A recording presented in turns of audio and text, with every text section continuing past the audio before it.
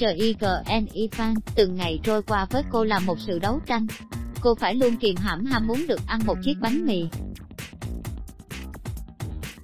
Tin tôi đi, nó thực sự khó khi bạn đang là bếp trưởng của một nhà hàng chuyên phục vụ những chiếc bánh mì đặc biệt chính hiệu Việt Nam. Đó là một món ăn nhẹ khá ổn giữa giờ nghỉ. Cách ngày tôi lại làm một ổ.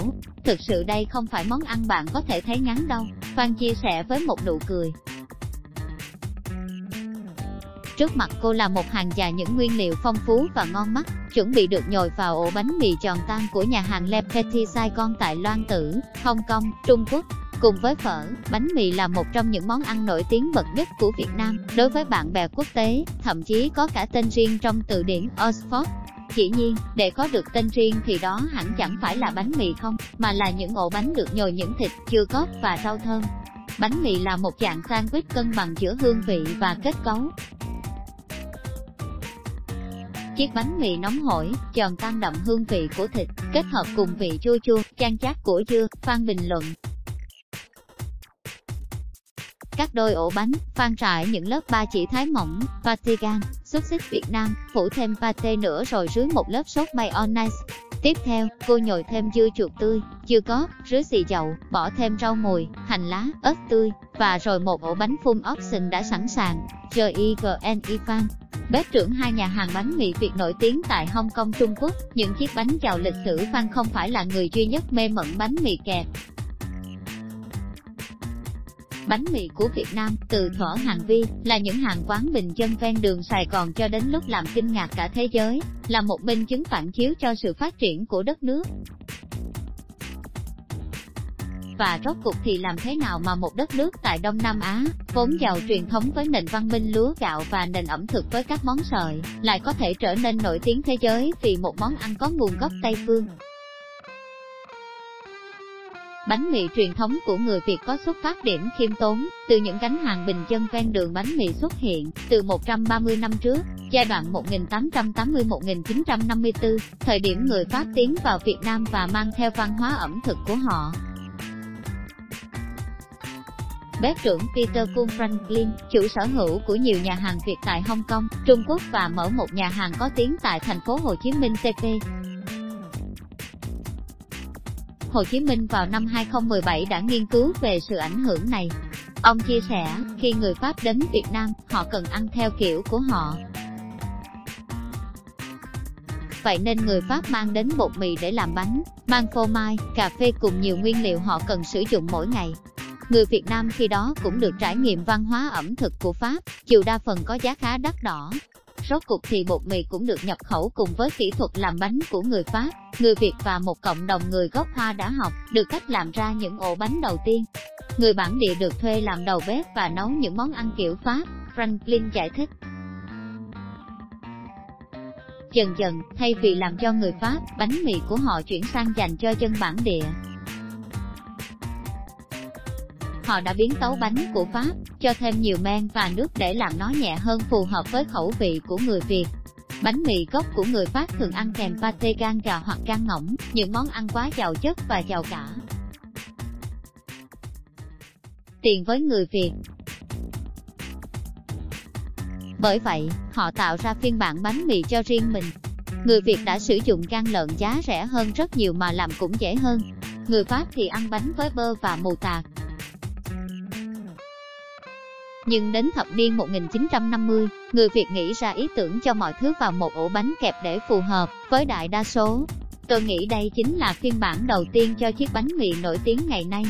Bếp trưởng Peter Kuhn Franklin khiến quốc tế trầm trồ bằng hương vị đa dạng cương vị của chiếc bánh mì hiện đại, ngay cả ở Việt Nam cũng có sự khác biệt theo từng vùng miền. Bánh Hà Nội có nhân đơn giản hơn so với thành phố. Hồ Chí Minh thường có chứa cả thịt nguội, còn tại Hội An, nhân bánh thường là thịt đã được làm nóng. Dẫu cho có xuất phát điểm khá khiêm tốn, bánh mì hiện tại trở thành một món ăn cực kỳ nổi tiếng trên thế giới, đặc biệt là tại các quốc gia như Úc và Mỹ, nơi có nhiều người Việt nhập cư, xe bán. Bánh mì tại Hà Nội thường là những ổ bánh mì không chẳng hạn như tại Mỹ, hiện có 1,3 triệu người Việt nhập cư đang sinh sống, và nền ẩm thực truyền thống họ mang theo đã được truyền thông Mỹ công nhận các show truyền hình, show thực tế, food blogger, mạng xã hội, và cả đầu bếp nổi tiếng Anthony Bourdain nữa, tất cả đã giúp người phương Tây phải công nhận một món ăn ven đường của người Việt. Phan cho biết,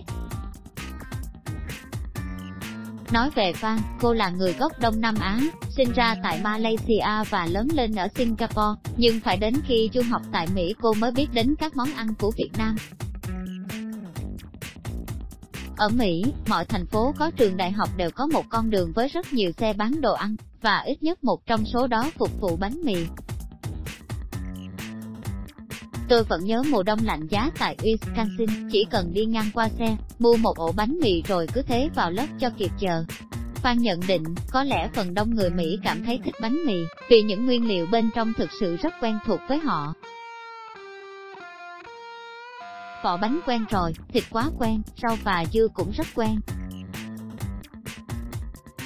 Toàn những thứ quen, họ sẽ chẳng ngần ngại thử, để rồi cảm nhận thứ hương vị bùng nổ bên trong. Phan cho biết, ai cũng thích ăn một chiếc bánh kẹp ngon. Và gần như mọi nền văn hóa đều có phiên bản bánh kẹp của riêng mình. Bánh mì Việt Nam vì thế rất dễ tiếp cận với mọi nền văn hóa, và rốt cục là trở nên nổi tiếng trên cả thế giới.